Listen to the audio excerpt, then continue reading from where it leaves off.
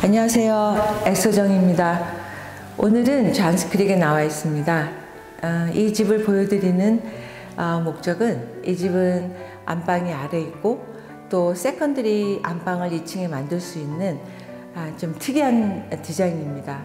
그리고 이 집은 이제 아, 내일이면 closing할 집인데 오늘 아, 이 집을 보여드리고 싶습니다.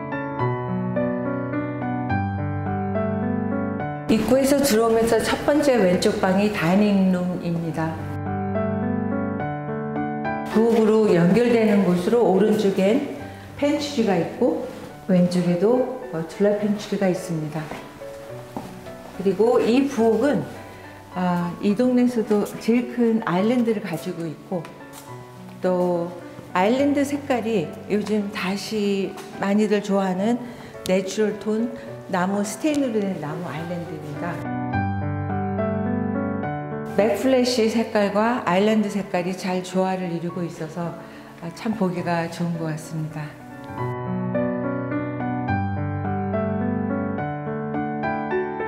지금 보시는 곳은 세탁장인데 타일이 부드럽고 색깔이 예쁘죠?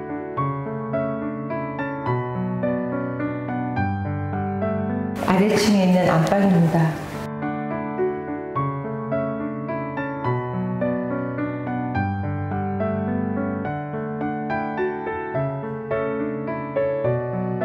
안방 화장실 온호 스위트입니다.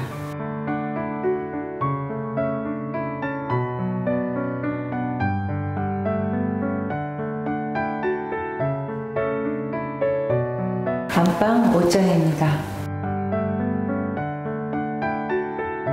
안방에서 나오면 오른쪽 썬룸이 보이고 투스토리 패밀리룸 탁 트이고 굉장히 밝고 좋지요. 그리고 이 집은 특히 경치가 좋은 것 같네요. 네, 2층으로 올라가 보실까요?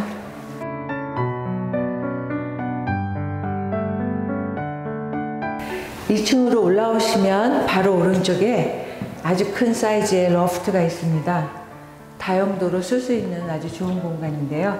또 1층까지 two-story에 바깥에도 보이고 아래층도 보이니까 굉장히 좋아 보이는 것 같습니다.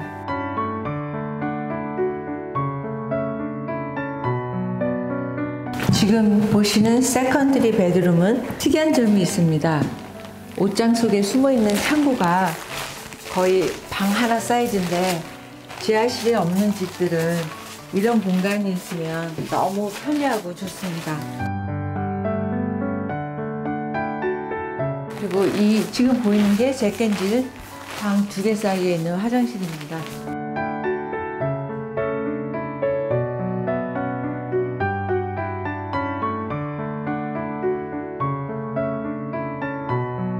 지금 보시는 방이 네 번째 방인데요. 이 방의 사이즈가 마스터 베드룸 사이즈입니다.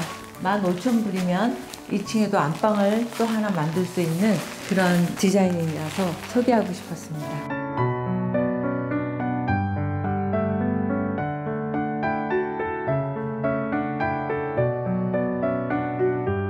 집이 참 예쁘죠?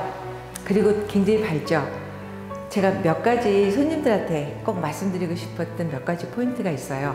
지금 이렇게 오픈되어 있는 open rail이 막혀 있었어요. 그래서 제가 builder한테 통사정을 해서 이렇게 오픈시켰습니다.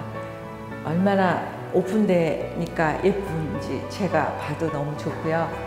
이 집은 모든 색깔 하나하나 타일 모든 거를 손님과 제가 같이 도왔습니다.